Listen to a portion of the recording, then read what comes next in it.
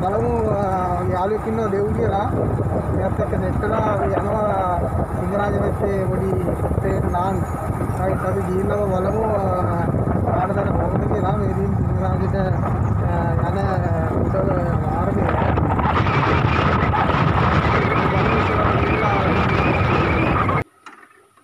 මෙතන තමයි සිංහරාජයේ සංරක්ෂණ මධ්‍යස්ථානට ඇතුල් වෙන තැන.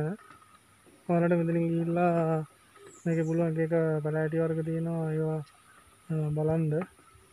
අපි තව මෙතනින් ඉදිරියට යමු. රයිට් ලස්සන පරිසරයක්. යනවා.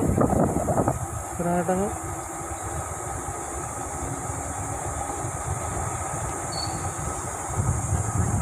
හ්ම්